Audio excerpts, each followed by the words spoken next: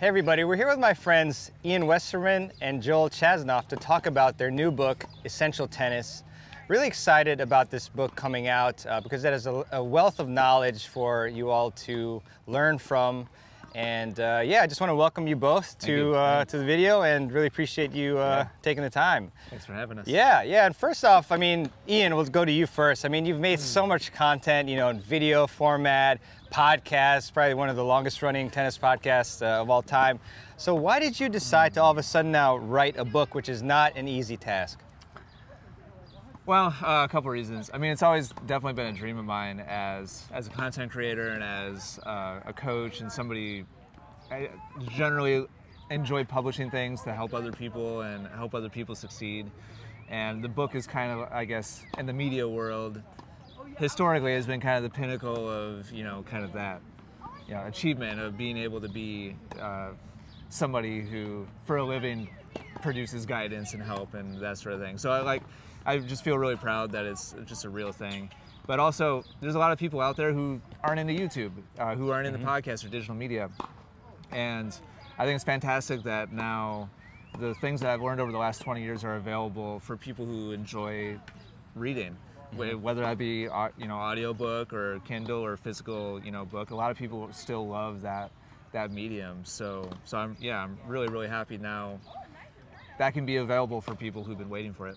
100%. And, and, Joel, I'm curious about how you both linked up. I mean, you're a tennis player as well, and you're a comedian, as we talked about. Right. So I'm curious how you know this relationship came about. Right, well, it's uh, very much a 21st century project. I'm a 4045 player. I live in Israel, uh, consume a lot of tennis content, including yours, which I love. Oh, thanks. Um, about seven years ago, I reached out to Ian and said, Would you consider writing a book? Because I thought his content could be organized in the right way to produce mm-hmm. a book and uh, it took off from there. Uh, we did it. We've only met twice. This is only this yeah. week is the second this time. This is number two. Wow. Spent time in person, yeah. but otherwise it was over, you know, over the phone, over Zoom, uh, email exchanges, outlining content. So uh, it was definitely uh, technology helped us create this together. Yeah, that's wonderful. And Ian, you mentioned an audiobook, which is a mm-hmm. great format. I mean, it goes right along the lines of your podcast as yeah. well.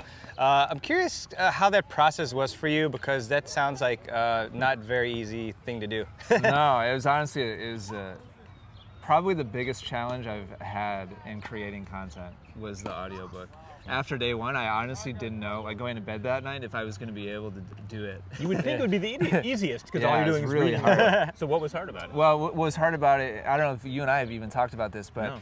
obviously it's like um, concepts and ideas that obviously I'm familiar with, but the wording is just slightly like nuanced, you know, a little bit differently and I'm, I'm, reading into a microphone in my home studio, mm-hmm. and there's two technicians listening uh, live and reading along as I'm as I'm reading.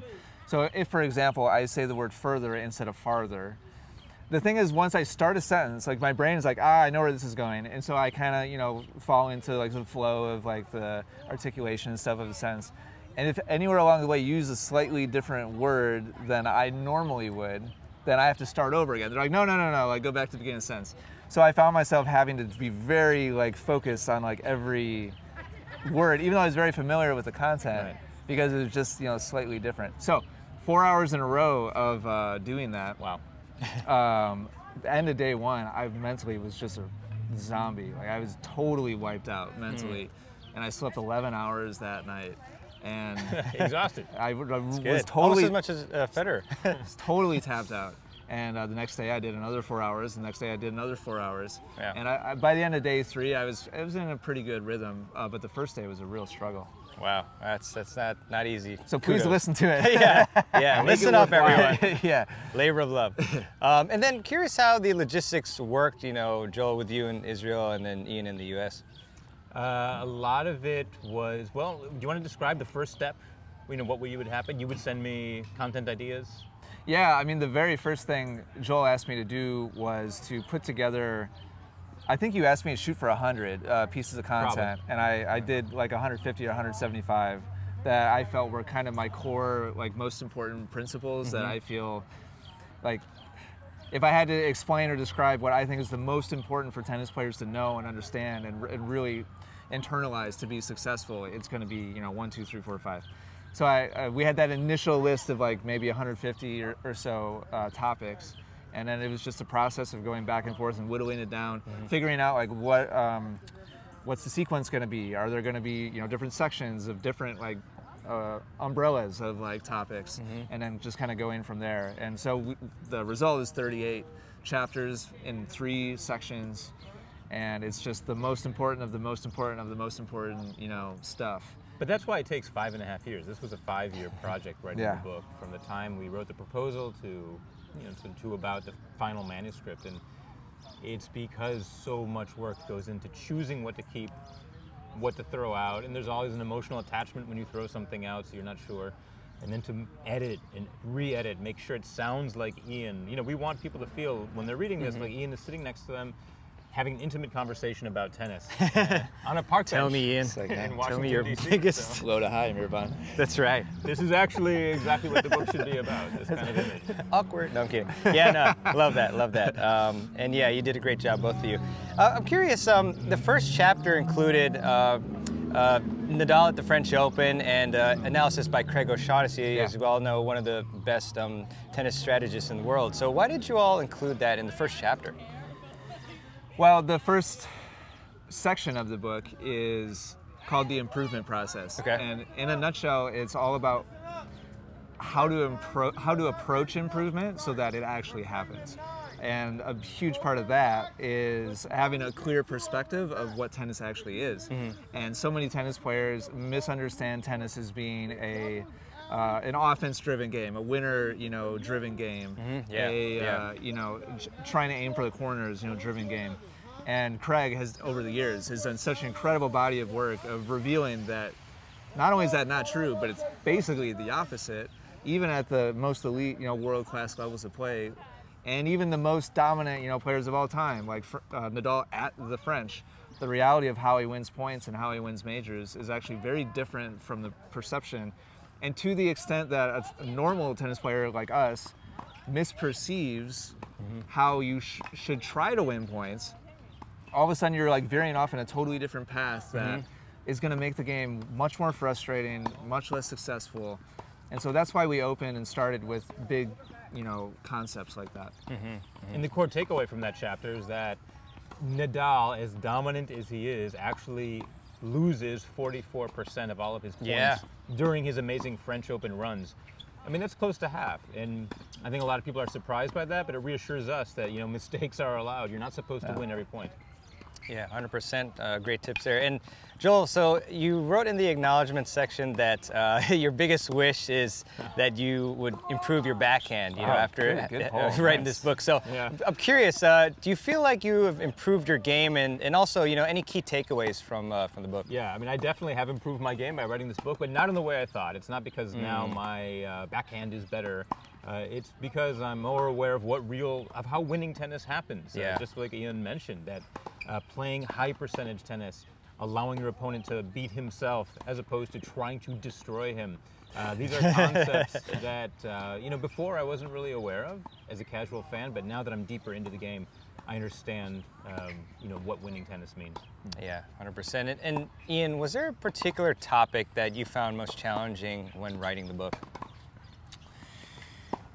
Uh, yeah, I would say in general the technical the technical stuff, and I think that's kind of a key thing to point out is this book isn't what you won't find in this book is a whole bunch of diagrams of like forehand, like position one, position two, position three. Like it's it's not about that at all. Uh, it's more of a tennis philosophy uh, book and very practical, like do A, B, and C in your next next match kind of book, as opposed to 15 degrees, you know, angle with the wrist and, and all that sort of thing. But the couple of topics that we did dive in, because we just felt like you can't leave out, you know, certain elements about how to move the body and how to approach technique. Uh, we talk about a lot about efficiency and smoothness and, and fluidity. The kinetic And- chain. Yeah. Yeah. I was coming around to the kinetic chain because I feel like that. I, I remember our, our phone calls about about that, and what a huge part of the value that uh, Joel brought to the table was he never let me get away with just saying a coachy thing and having that be like the final like content. Like he was constantly like pushing me to explain um, in more detail and more de- more detail and more detail, like again and again and again, so that he actually had like uh, the nuanced words to use to make it come across in, in, as good, you know, literature instead of just like saying low to high. You know, like what does that like? What does that really mean? So I think the hardest parts for me and where Joel was super valuable was the more technical stuff where mm. Joel was like, whoa, whoa, whoa, like we need to like break that down more, which in turn like helps me become a, a better coach as well. Totally, yeah. It's great to have a player perspective with, with Joel. And, and curious for you both. I mean, what sections or topics did you originally uh, want to have in the book, but that you just had to cut? Oh, that's Well, a there good- was that's there a was one question. chapter called David and Goliath Yeah. about how a Mm. weaker player should approach beating a stronger player. Mm. I loved that chapter. It was written and ready, but ultimately we decided there were other concepts that were similar, and it just didn't make the cut. So that's one that that did not go in there. But uh, if we do it and write another book, that that might go in. There's no like, you know, flashing like t- title or topic that comes to mind for me uh, right away. Honestly, my head is just such a jumble of like, uh, I've made so many thousands of pieces of content over the years. Um, throughout the book writing process, Joel had to remind me like what was in it uh, and what wasn't, because I it's just like. It will, as soon as I hang up the phone with Joel, my brain's immediately going to, you know, th- uh, this piece of content and this one and this one and this one. And so, like, circling back around again was actually a big challenge for me over the five years. Uh, like, refocusing on, like, what, what are we talking about again? Um, so, yeah, that was me opting out of that question right there. That- Very tactfully, very yeah, tactfully. Nothing comes to mind uh, right. I'm in DC, so I was I was trying on my my political Yeah. My political answer. Pass with flying colors. Well All done. right, well done.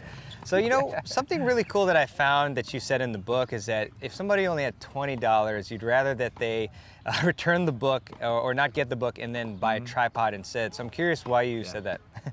Yeah, well, I think a, a key principle in my coaching. I mean, you know, we were just working together. Yeah. Mehrban. Uh, key principle for me over the years, and thing that I just keep getting reminded of again and again mm-hmm. as I work with all my students, is there's always kind of dual um, realities. There's like the reality of, of what tennis internally like feels like to us, mm-hmm. and the reality of what's actually happening. And as long as there's there's that space in between, like the bigger of a gap there is, the harder it is for any of us to mm-hmm. get better, because we might be working on ABC over here. When in reality we need X, Y, Z, but we're ignoring that because we just kind of like, oh yeah, I get that, like I understand that, and it's those things that most keep people stuck at any given level uh, because they've passed it by, even though it's more important and fundamental, in favor of more flashy, like sexy stuff. So, the suggestion of getting the tripod instead is simply because there's such like borderline like infinite value in being able to just quickly record yourself in just- let's just find out like, Yeah. no more guessing no more relying on the ability of a coach to describe it or our teammate to describe it or um, anything like that you can just see the reality of it immediately Yeah. and so to me it's the most powerful training training aid and teaching tool there is is is video um, and so that's why we suggested that in the book Yeah, I love video as well. I know we've had some talks about it on the podcast as well, and just Yeah. you know, even just a video alone, at you looking at it, you can really improve yourself by finding uh, issues. But then when you combine that with a great coach, like when we were filming today, and you found out some really cool uh, things with my serve that I could improve upon, then that's just pure power in terms of improvement. and it was all things you knew already. Yeah. And, and you're, you know, you're like top, you know, a couple percentage points uh, quality tennis player. So it'd be very easy for somebody like you to be like, "Uh, of course, like uh, I'm supposed to be doing X, Y, Z. But finding out where those gaps are, we have so all of us have so many blind spots. Yeah. Being able to pinpoint it's this and this and this that's most important is the most important thing. Yeah, 100%. Um, Joel, uh, so you're a comedian by trade, as I think we mentioned in the beginning. So how did that come to play, if at all, in the book process? Yeah, I mean the, the book is not full of jokes. Uh, there's uh, there's you know some maybe some sarcasm, or I tried to frame a few co- topics in a tongue-in-cheek way. But you made it more fun than I would have. That is definitely true. Uh, Wow. Not that that's saying a whole lot, but you know, you know. like comedy really at the end of the day is all about observation, paying it close attention, and presenting an idea in a way different than the audience or reader expected. And that we try to do is taking concepts people are very familiar with, but twisting them, presenting them differently. Yeah. Uh, the Nadal point winning uh, or losing Mm-hmm. uh, being a perfect example. And so that's where the you know comedy skills maybe took a different angle, but Mm-hmm. were definitely useful. Yeah, I think people appreciate you know bits of humor here and there. Yeah, I think so. So uh, Yeah. a great combination there. Uh, and also, um, you both included a, a diagram of the court complete with measurements. Um, Mm-hmm. So I'm curious why you did that and how important that is to know. I don't want to throw anybody under the bus, but well, I'm going to throw somebody under the, under the bus. Uh, Oh. it's not you, Mehrban. Oh, okay. Go ahead. Um, we we did a interview with Matt uh, Bradshaw and Peter Freeman, with incredible, like amazing. Yes. We Great spent a people. whole day with them. Yeah, we had an incredible time with them, and just to illustrate like why it's so important, um, and to go back to my earlier idea of like like let's start with the most important stuff like Mm-hmm. first, and if you pass by um, any key fundamental elements because you think it's too basic or I already get that or whatever, you miss a lot of nuance that can help you be more successful on the court. yeah. So uh, we asked, uh, I don't remember how the dialogue went exactly, but they, they asked a similar question. And I said, well, hey, Matt, how, how wide do you think the doubles alley is? And uh, he, guessed, he said two feet, right? Yeah, he said two, two and a half feet. Yeah. And it's double that. It's four and a half feet wide. So that might just seem like a kind of useless trivia on the surface. But as a doubles player in particular, like if that's your actual perce- perception, is that the, the alley is half the width that it actually is, that changes how you cover things. That changes how you pick your targets. Mm-hmm. Uh, like that changes the, the patterns uh, that you use. And so that's you know just one just top of the, the head example. Understanding the geometry of the court to me is kind of the, the core of good tactics and uh, good strategy. So just having a cursory you know understanding of what kind of dimensions were like here's a good one Mehrban. Oh, I, I, now I'm gonna throw you under the bus probably.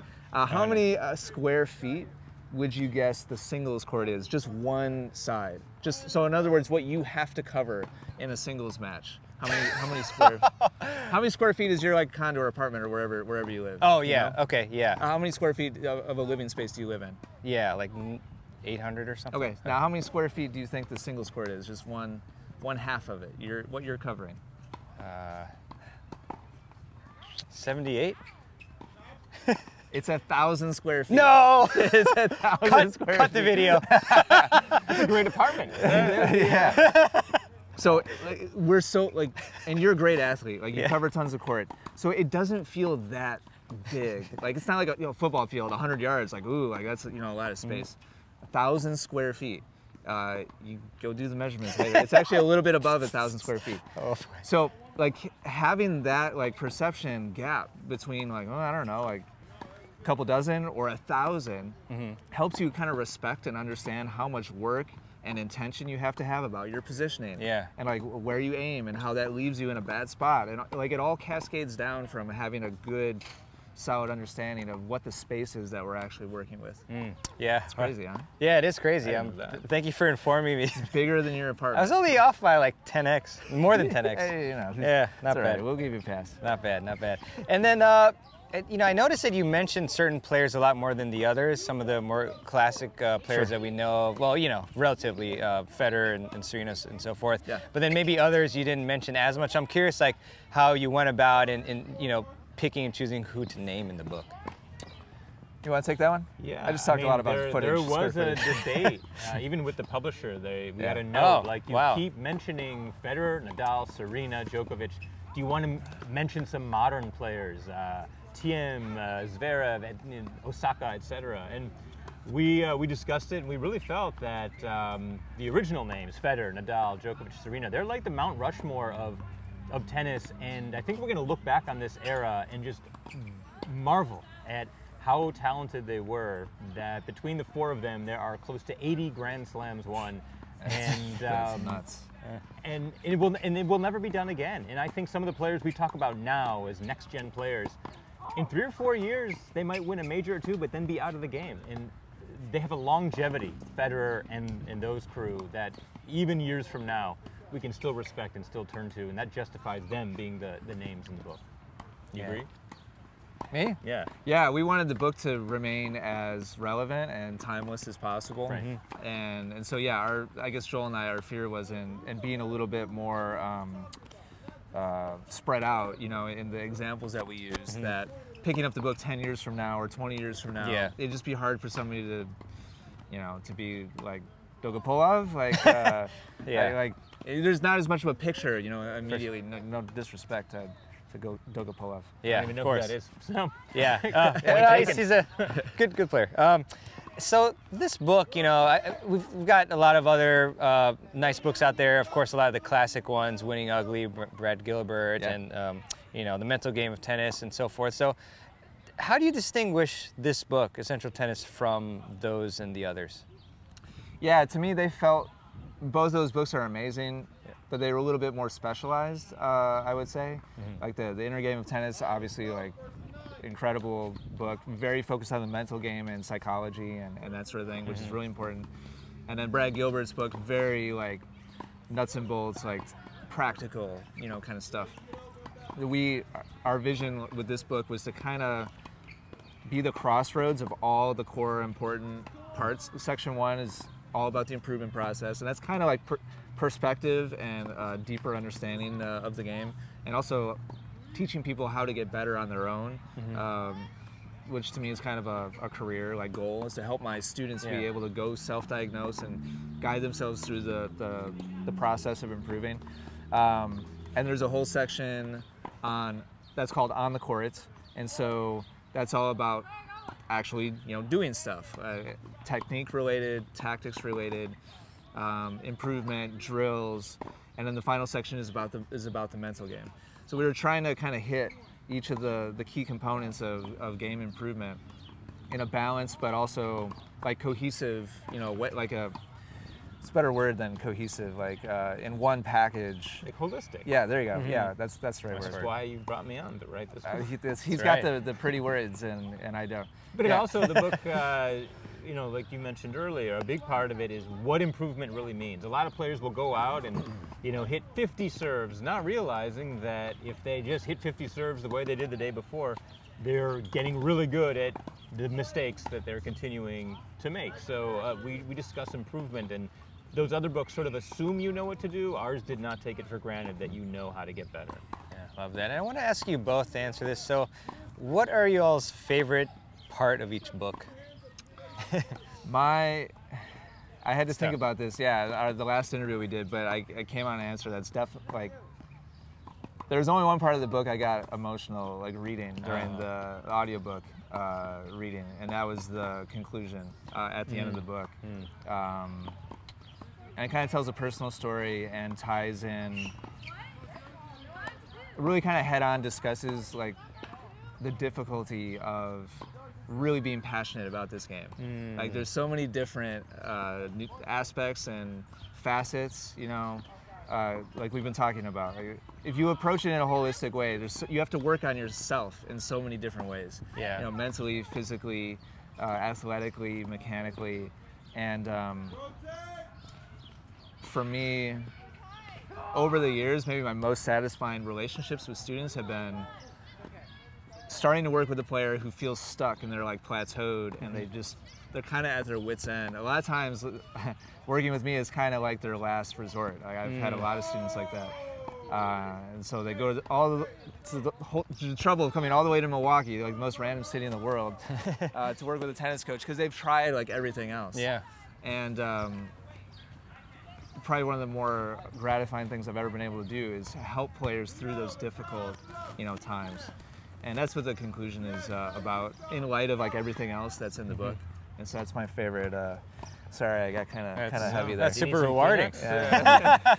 I mean, for me, the, I loved all the chapters. Uh, if they made it in, it was a winner in my book. But there is one chapter about uh, swing speed. And in that chapter, uh, it's sort of based on an interview that Ian did with Todd Martin, the legendary American Oh, player. awesome. Wow. And he at one point coached Djokovic and talked about how Djokovic had trouble with swing speed and uh, playing uh, playing a match at the, with the same intensity as he practiced. And just hearing that a player like Djokovic struggles with the same things that players at my and other people's levels do, it really, really reassured me that this is a journey. It's not something that ends and you're done, but it's, it's lifelong and uh, there's growth to be had. And um, that was that was a good, nice personal takeaway. Love that, love that. And, and maybe a question for you both again. I mean, with just a few weeks away from the launch of the book, um, you know, how are you all feeling after, you know, you're slaving away? You know, it's a five-year project, uh, as I Yeah, understand it. over so, five at this Five. point. Oh, how's the how's the feeling there for both of y'all? exhausted. it's been, I mean, but that describes me all the time.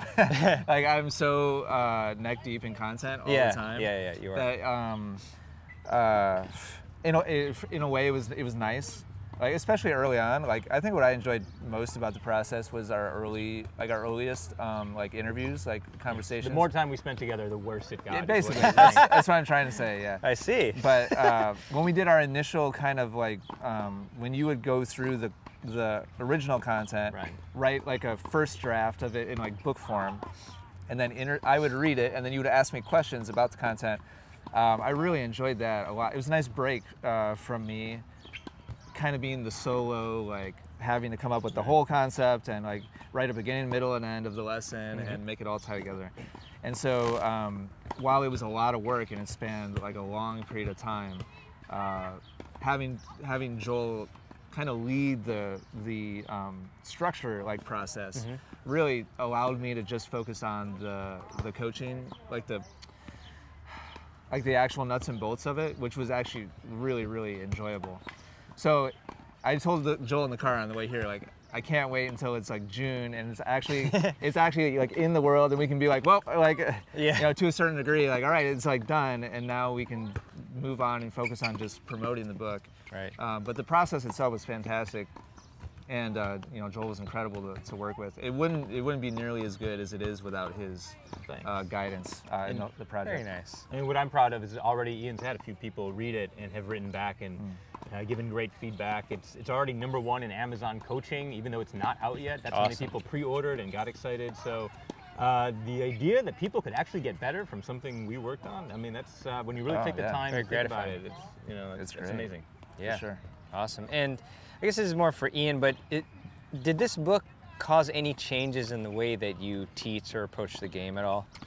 Yeah, the, the question the question you asked earlier, uh, what was the? Um, I don't remember the context anymore. But you asked a good uh, question earlier about the different uh, parts. Oh, it was about comparing it to uh, like the inner game and Oh yeah, uh, yeah. the fact that we're trying to create kind of a holistic work, you know, that kind of touches on all the key uh, parts of the game.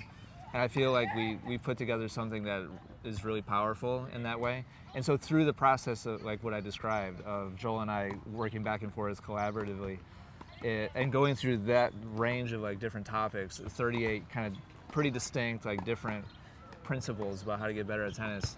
It helped me connect more dots in my own head about uh, just connection points uh, between different parts of the game, which just helps me be able to provide better service to to my students, especially in the moment. You know, uh, working with somebody on the court, and maybe they're stuck on something, or they're frustrated, or um, it's not clear to them how long this is going to take. And so, for me, being more and more clear about how it all fits together, um, I think helps me be a, a more effective coach. Yeah, brilliant point there.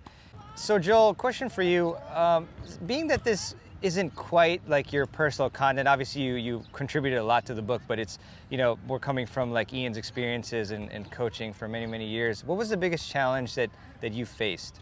I think the permanency of it, and you know, one phrase that I said to Ian a few times is that uh, this isn't like uh, a web page where you can go back a few days later and delete the words and, and correct it. And I- you know, I said once this is in print, this is how it is. So we got to get it right. And there were some concepts like shape or uh, return of serve or you know other things that I really wanted to make sure I understood completely and was describing them correctly because Yeah. um, this is going to be you know carved in stone as far as a book is concerned. It, you can't edit it once it's out in the world. Don't worry, it's made out of paper. Yeah. It's, it's not that heavy. But we wanted to, you know, that just that permanency in getting it right. Um, we had many conversations about those details. Yeah. Awesome. And um, guess last question for you, like where is the best place to uh, get, get the book? I mean, we do have links below, but just, um, you know, any thoughts on that and any, any other closing thoughts? Yeah, I would encourage people where- wherever, however they most like to consume written material like this. Um, if you like going to an old-fashioned bookstore, it's going to be at Barnes and Noble and all the other main distributors. Uh, it's also on Amazon in uh, paperback, hardcover, Audible in uh, audio form, uh, Kindle, and Nice. in digital form. And if you're watching this before May 31st, if you go to essentialtennis.com/book, then uh, the publisher and I are giving away some free bonuses as well if you pre-order before the launch of the book. So make sure to check that out.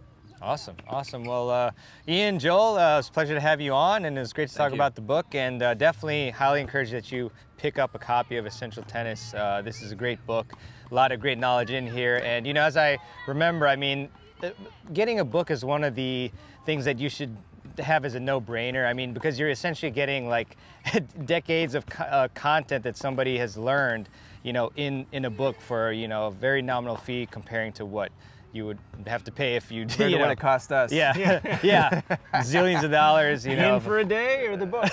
yeah, so definitely pick it up, and uh, thanks for watching, and thank you all. Thank you, Mehrban. of Appreciate course, it. Pleasure Thanks. here. Thank you.